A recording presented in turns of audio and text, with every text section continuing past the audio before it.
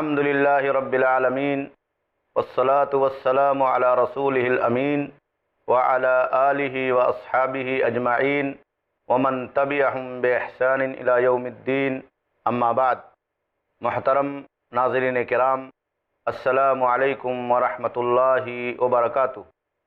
تجارت کے اسلامی اصول اس پروگرام میں آپ سبھی کا استقبال ہے۔ آج کی اس نشست میں ہماری گفتگو کا عنوان ہے اسلام میں معاشی جد و جہد کی اہمیت اور کسب و کمائی کی فضیلت۔ اسلام نے جہاں ہمیں حصول رزق کے مختلف اسباب بتلائے ہیں، وہیں حصول رزق کے لیے جد و جہد کرنے کا، محنت اور مشقت کرنے کا حکم عطا فرمایا ہے۔ اللہ نے اپنی زمین میں ہمیں نکلنے کا حکم عطا فرمایا ہے۔ اللہ رب العالمین نے قرآن مجید کے اندر ذکر کرتے ہوئے بیان فرمایا، فَإِذَا قُضِيَتِ الصَّلَاةُ فَانْتَشِرُوا فِي الْأَرْضِ وَابْتَغُوا مِن فَضْلِ اللَّهِ کہ جب نماز جمعہ پوری کر لی جائے تو تم اللہ رب العالمین کی زمین میں پھیل جاؤ اور اللہ رب العالمین کا فضل اور اللہ کی روزی کو تلاش کرو۔ قرآن مجید کی یہ آیت کریمہ، دراصل حصول رزق کے لیے تلاش رزق کے لیے اللہ کے راستے میں، اللہ کی روئے زمین میں پھیلنے کا وہ عظیم الشان ہمیں اور آپ کو پیغام دیتی ہے، جس کے ذریعے سے ہمیں اور آپ کو اس کائنات میں اللہ کی طرف سے روزی ملتی ہے۔ اللہ رب العالمین نے اس آیت کریمہ کے ذریعے سے ہمیں اور آپ کو گویا کی معاشی جد و جہد کرنے کا حکم عطا فرمایا ہے۔ انسان اپنے اولاد کے لیے اپنے گھر کے لیے، اپنی دنیا کے لیے کمانا چاہتا ہے اور اس دنیا میں اللہ رب العالمین کی نعمت کو حاصل کرنا چاہتا ہے۔ اللہ رب العالمین نے اسے روئے زمین میں پھیلنے کا حکم عطا فرمایا ہے اور محنت اور مشقت کے ذریعے سے اللہ کی روزی کو تلاش کرنے کا حکم دیا ہے۔ اللہ رب العالمین نے صورت الملک کے اندر ارشاد فرماتے ہوئے کہا والذی جعل لکم الارض ذلولا فامشوا فی مناکبها وکلوا من رزقه والیہ النشور۔ کہ اللہ کی وہ ذات ہے جس نے زمین کو تمہارے لیے ہموار کر دیا ہے، پوری زمین کو مسخر کر دیا ہے۔ اسی لیے باری تعالیٰ نے حکم دیتے ہوئے بیان فرمایا کہ فم شوفی منا کی بہا زمین کے مختلف علاقوں میں، اس کے مختلف راستوں میں تم نکل پڑو اور اللہ کی دی ہوئی روزی کھاؤ۔ کیونکہ تمہیں اسی کی طرف پلٹ کر کے جانا ہے۔ محترم ناظرین کرام، یہ آیت کریمہ اللہ رب العالمین کے اس روئے زمین میں تلاش رزق کے لیے نکلنے کے اور اللہ رب العالمین کی زمین میں پھیلنے کا ہمیں اور آپ کو پیغام دیتی ہے۔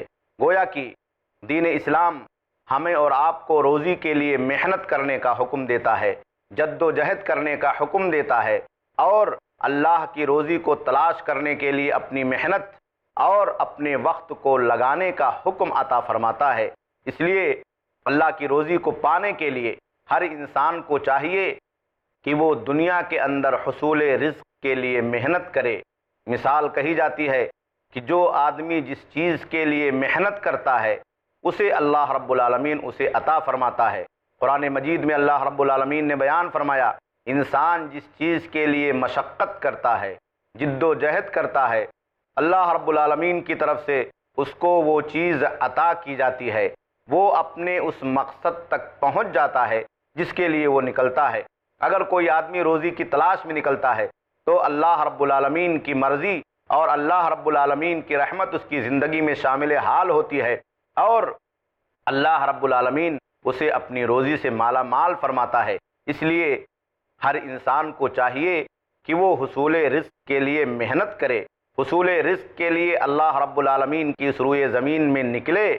وہ انسان جو معاشی جد و جہد کے لیے اپنے بچوں کی پرورش اور ان کے ضروریات زندگی کو پوری کرنے کے لیے نکلتا ہے اور جد و جہد کرتا ہے، خون پسینہ ایک کرتا ہے، اپنی محنت اور اپنی زندگی لگاتا ہے۔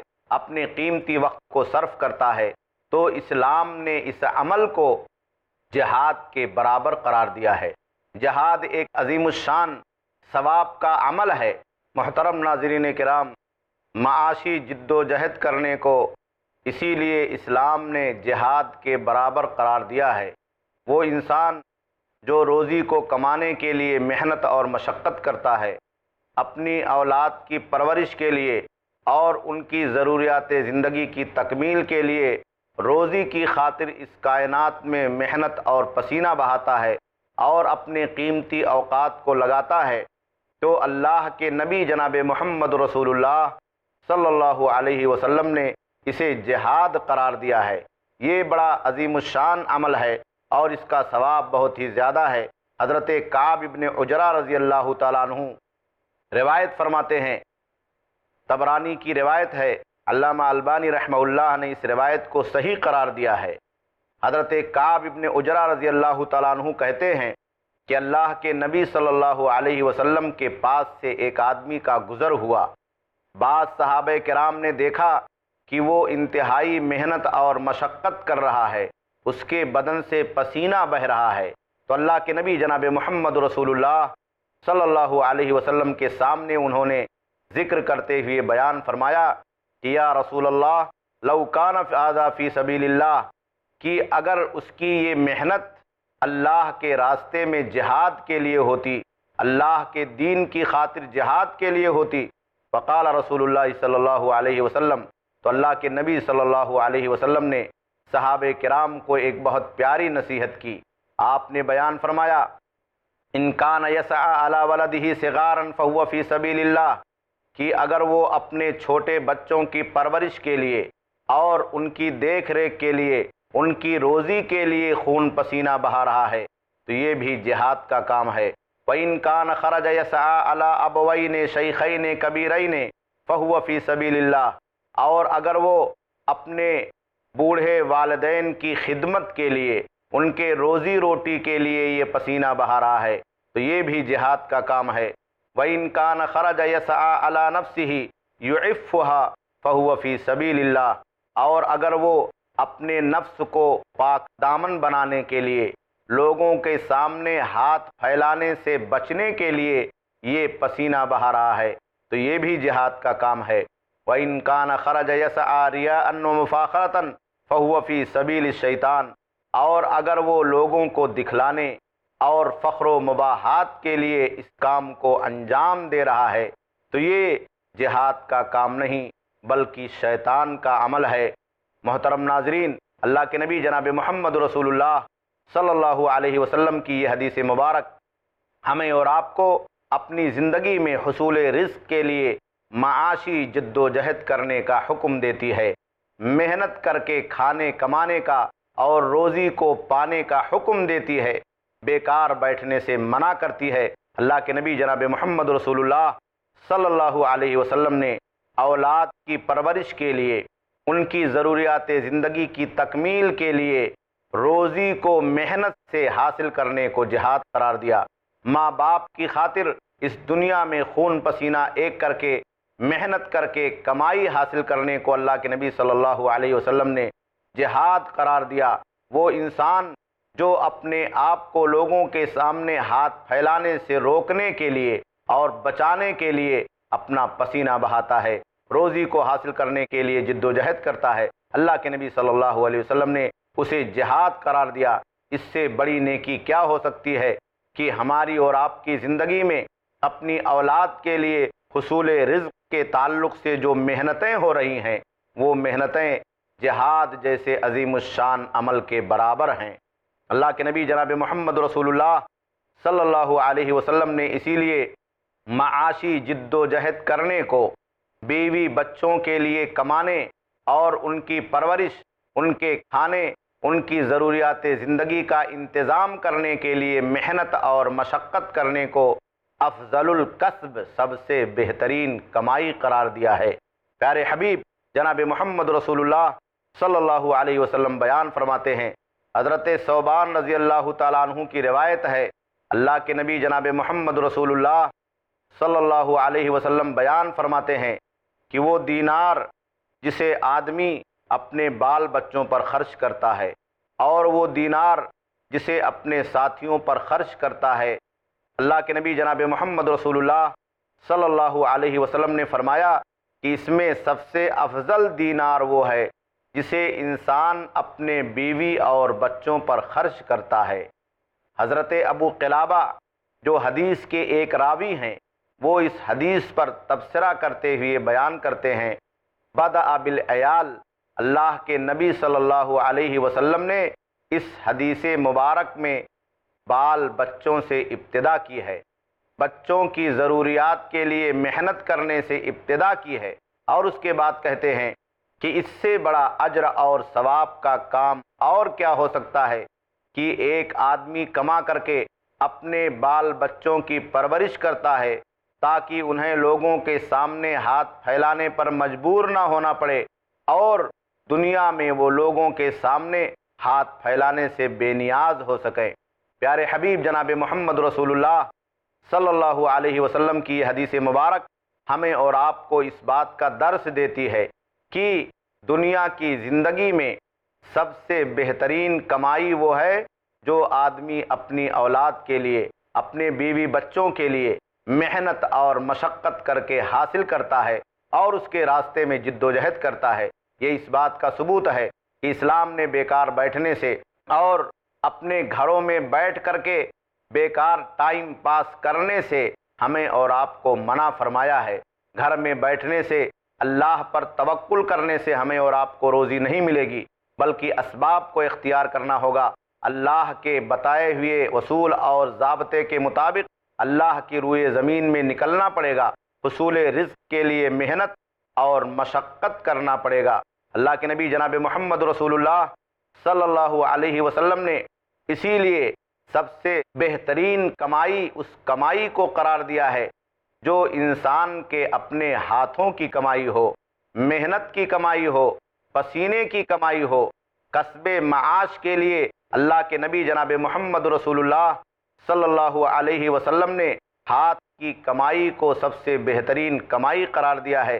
صحیح بخاری میں اللہ کے نبی جناب محمد رسول اللہ صلی اللہ علیہ وسلم سے روایت ہے۔ آپ نے بیان فرمایا، ما اکل احد تعامن قط خیر من ان یاکل من عمل یدئی کہ تم میں سے جو آدمی اس روئے زمین میں اللہ رب العالمین کی نعمت کو، اس کی دی ہوئی غذا کو کھاتا ہے، اس میں سب سے بہترین غذا وہ ہے جو اس کے دونوں ہاتھوں کی کمائی ہوتی ہے، جس کو وہ محنت کر کے حاصل کرتا ہے، مشقت کر کے حاصل کرتا ہے، جد و جہد کر کے حاصل کرتا ہے، اس کے راستے میں خون اور پسینہ بہاتا ہے اپنے قیمتی وقت کو لگاتا ہے اور اس کے بعد اللہ کے نبی جناب محمد رسول اللہ صلی اللہ علیہ وسلم نے بیان فرمایا کہ محنت سے کمانا، پسینہ، بہا کر کے اللہ کی روزی کو حاصل کرنا، اللہ کی روزی کے حصول کے لیے جد و جہد اور مشقت کرنا، یہ انبیاء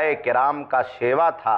اللہ کے نبی صلی اللہ علیہ وسلم بیان فرماتے ہیں، وَإِنَّ نبی اللہ داود علیہ السلام کان یا کلو من عمل یدئی کہ اللہ کے نبی حضرت داؤد علیہ السلاۃ والسلام اپنے ہاتھوں کی کمائی سے کھاتے تھے۔ ان کی روزی کا ذریعہ یہ تھا کہ وہ محنت کرتے تھے۔ ان کی روزی کا یہ ذریعہ تھا کہ وہ مشقت کرتے تھے اور جد و جہد کرتے تھے۔ ہم جب تاریخ اسلام کو پڑھتے ہیں تو اللہ کے نبی جناب محمد رسول اللہ صلی اللہ علیہ وسلم نے اس بات کو واضح کر دیا ہے۔ کہ آپ نے خود اس راستے میں محنت کی ہے۔ آپ کے صحابہ نے اس راستے میں محنت کی ہے۔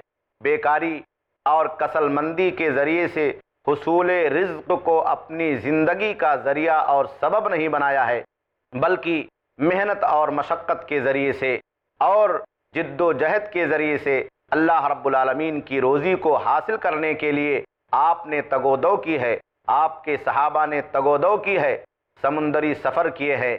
صحرا اور ریگستان کے سفر کیے ہیں، مختلف علاقوں میں تجارتی اسفار کیے ہیں۔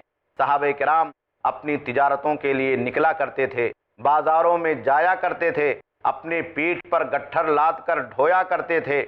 اور اللہ کے نبی جناب محمد رسول اللہ صلی اللہ علیہ وسلم کے بتائے ہوئے وصول اور آپ کے بتائے ہوئے طریقے کے مطابق اللہ کی روزی کو حاصل کرنے کے لیے سخت ترین محنت کیا کرتے تھے۔ اللہ کے نبی جناب محمد رسول اللہ صلی اللہ علیہ وسلم نے تو یہاں تک بیان فرمایا، صحابہ کرام سے کہ اللہ کے راستے میں جب تمہیں صدقہ اور خیرات کرنا ہو اور تمہارے گھروں میں پیسے نہ ہوں، استطاعت اور طاقت نہ ہو، تو اللہ رب العالمین کی زمین میں نکل جاؤ، روزی کماؤ، محنت اور مشقت کرو، اپنے پیٹھ پر بوجھ لا دو اور اس کے ذریعے سے جو کمائی حاصل ہو، اسے خود کھاؤ۔ اور اس میں سے اللہ رب العالمین کے راستے میں صدقہ اور خیرات کرو۔ محترم ناظرین، اسی لیے ہم دیکھتے ہیں کہ دین اسلام نے ہمیں محنت کرنے کا حکم عطا فرمایا ہے اور لوگوں کے سامنے اپنے ہاتھوں کو پھیلانے سے منع فرمایا ہے۔ ایک آدمی جو بیکاری کی زندگی بسر کرتا ہے اور اپنی ضرورتوں کو پوری کرنے کے لیے دوسروں کے سامنے اپنے ہاتھوں کو پھیلاتا ہے، بھیک مانگتا ہے، گداگری کا پیشہ اختیار کرتا ہے۔ اسلام نے اس سے سخت منع فرمایا ہے اور ایسے لوگوں سے اسلام نے سخت نفرت کا اظہار کیا ہے جو بیکاری کی زندگی گزار کر کے لوگوں کے سامنے اپنی ضرورت کی تکمیل کے لیے ہاتھ پھیلانے پر مجبور ہوتے ہیں۔ اللہ کے نبی جناب محمد رسول اللہ صلی اللہ علیہ وسلم نے اس سلسلے میں سخت وعید سنائی ہے کہ وہ آدمی جو دنیا کے اندر گداگری کرتا ہے، بھیک مانگتا ہے، اپنے ہاتھوں کو لوگوں کے سامنے پھیلاتا ہے، قیامت کے دن اللہ رب العالمین کے سامنے اس حالت میں آئے گا کہ اس کے چہرے پر گوشت نہیں ہوگا۔ ایسے لوگوں کو چاہیے جو بیکار کی زندگی گزارتے ہیں اور اپنے اولاد کے لیے، اپنی زندگی کے لیے اپنی دنیا کے لیے، روزی کو کمانے کے لیے محنت اور مشقت نہیں کرتے ہیں، وہ اس طرح کے بیکار عمل سے جو ان کی زندگی میں بھیک مانگنے پر انہیں مجبور کرتے ہیں، اپنے آپ کو بچائیں۔ صحیح بخاری میں حضرت زبیر ابن العوام رضی اللہ تعالیٰ عنہ سے روایت ہے، اللہ کے نبی جناب محمد رسول اللہ صلی اللہ علیہ وسلم بیان فرماتے ہیں، والذی نفسی بیدہی، لَأَن يَاخُدَ أَحَدُكُمْ حَبْلَهُ فَيَحْتَتِبَ عَلَى ظَهْرِهِ خَيْرٌ لَهُ مِنْ أَيَّاتِيَ رَجُلًا فَيَسْأَلُهُ فَعَاتَاهُ أَوْ يَمْنَعَهُ حضرت زبیر ابن عوام رضی اللہ تعالیٰ عنہ بیان فرماتے ہیں کہ اللہ کے نبی جناب محمد رسول اللہ صلی اللہ علیہ وسلم نے قسم کھا کر کے بیان فرمایا یہ قسم ہے اس ذات کی جس کے ہاتھ میں میری جان ہے۔ اگر تم میں سے ایک آدمی اپنی رسی لے کر کے نکلتا ہے اور اپنے پیٹھ پر لکڑیاں کاٹ کر کے بوجھ ڈھوتا ہے اور اس کے ذریعے سے روزی حاصل کرتا ہے، تو یہ بہتر ہے اس بات سے کہ وہ کسی آدمی کے سامنے جائے، اپنے ہاتھ کو پھیلائے، وہ آدمی اسے کچھ دے دے یا اسے اپنے دروازے سے بھگا دے، اسے دینے سے منع فرما دے۔ اللہ کے نبی جناب محمد رسول اللہ صلی اللہ علیہ وسلم نے اس حدیث مبارک کے اندر بیان فرمایا کہ جو آدمی اپنے پیٹھ پر بوجھ لاتا ہے اور اس کے ذریعے سے محنت اور مشقت کر کے اللہ کی روزی کو حاصل کرنا چاہتا ہے، تو یہ اس کے لیے اس بات سے بہتر ہے کہ لوگوں کے سامنے دستے سوال پھیلائے، لوگوں کے سامنے ہاتھ پھیلا کر کے بھیک مانگے۔ پیارے حبیب جناب محمد رسول اللہ صلی اللہ علیہ وسلم نے اس حدیث مبارک میں ہمیں اور آپ کو اس بات کا حکم عطا فرمایا ہے کہ ہمیں روزی کو حاصل کرنے کے لیے، اپنی ضروریات زندگی کی تکمیل کے لیے لوگوں کے سامنے اپنا ہاتھ نہیں پھیلانا چاہیے، بلکہ اس زندگی میں محنت اور مشقت کر کے حصول رزق اور روزی کو پانے کی کوشش کرنی چاہیے۔ سنن نسائی میں اللہ کے نبی جناب محمد رسول اللہ صلی اللہ علیہ وسلم سے حضرت صوبان رضی اللہ تعالیٰ عنہ روایت کرتے ہیں کہ ایک دفعہ پیارے حبیب صلی اللہ علیہ وسلم نے بیان فرمایا میں یزمن علی واحد ولہ الجنہ کہ تم میں سے کون ہے وہ آدمی جو میرے لیے صرف ایک بات کی ضمانت لے گا، تو اسے اس کے بدلے میں اللہ رب العالمین جنت عطا کرے گا۔ حضرت صوبان رضی اللہ تعالیٰ عنہ کہتے ہیں کہ اللہ کے نبی جناب محمد رسول اللہ صلی اللہ علیہ وسلم سے میں نے کہا کہ انا یا رسول اللہ اللہ کے نبی صلی اللہ علیہ وسلم، میں ضمانت لیتا ہوں اس بات کی جسے آپ مجھے ضمانت کے طور پر دینا چاہتے ہیں تاکہ مجھے جنت مل جائے۔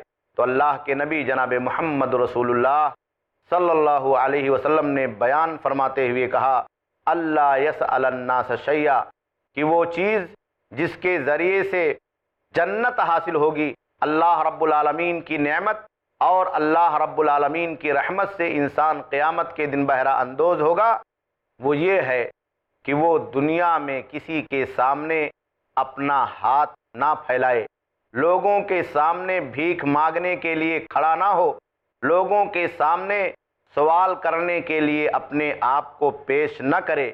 اللہ کے نبی جناب محمد رسول اللہ صلی اللہ علیہ وسلم کی یہ تمام حدیثیں، آپ کے یہ تمام ارشادات عالیہ اس بات کی دلیل ہے کہ ایک مسلمان کو، ایک انسان کو چاہیے کہ وہ روزی کمانے کے لیے سخت محنت کرے، روزی کمانے کے لیے جد و جہد کرے اور اس دنیا کے اندر بھیک مانگنے کو، سوال کرنے کو اور اپنے ہاتھوں کو لوگوں کے سامنے بیکار میں پھیلانے کو اپنی عادت اور اپنا پیشہ نہ بنائے۔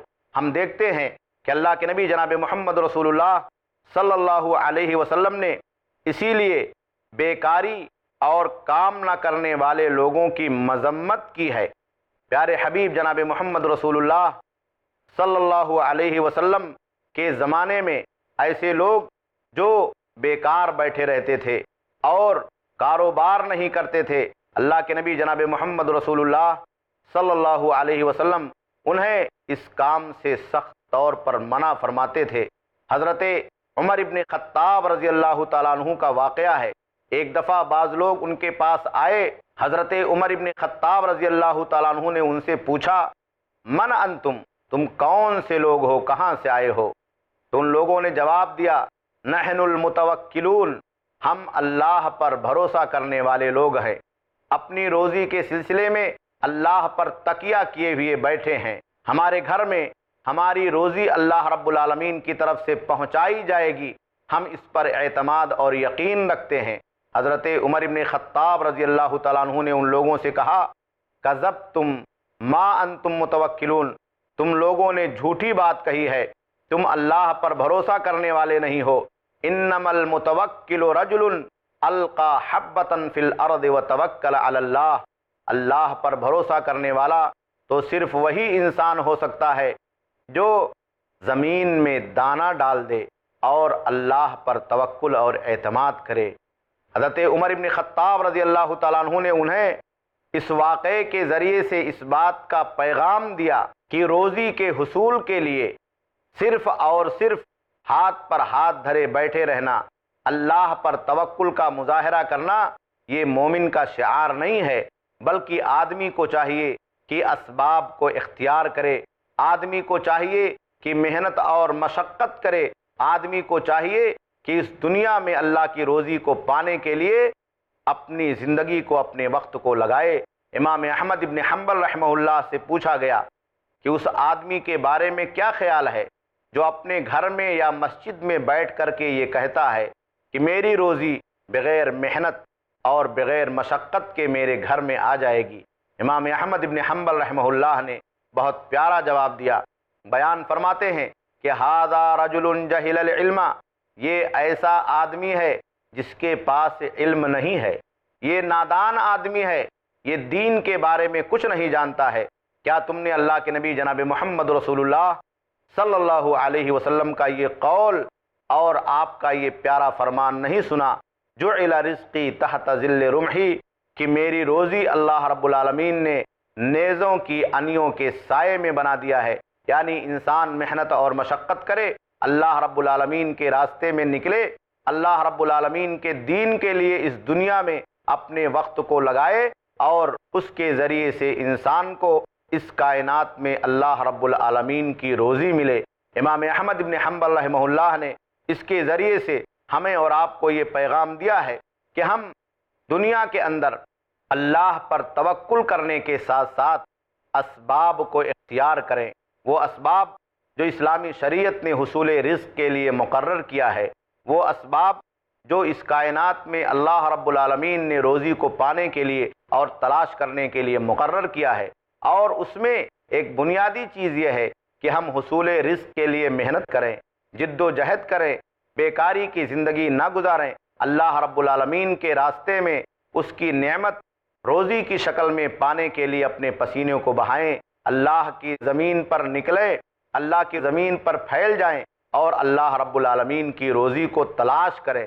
تب جا کر کے ہم اور آپ اس دنیا میں اللہ رب العالمین پر صحیح معنوں میں توکل کرنے والے اور صحیح معنوں میں بھروسہ کرنے والے اور اللہ رب العالمین پر صحیح معنوں میں یقین اور اعتماد رکھنے والے مسلمانوں میں سے ہوں گے، اللہ کے بندوں میں سے ہوں گے۔ ناظرین کرام، پروگرام کا وقت اب ختم ہوتا ہے۔ اس کے بعد انشاءاللہ العزیز اگلی نشست میں بقیہ باتیں ہوں گی۔ والسلام علیکم ورحمۃ اللہ وبرکاتہ۔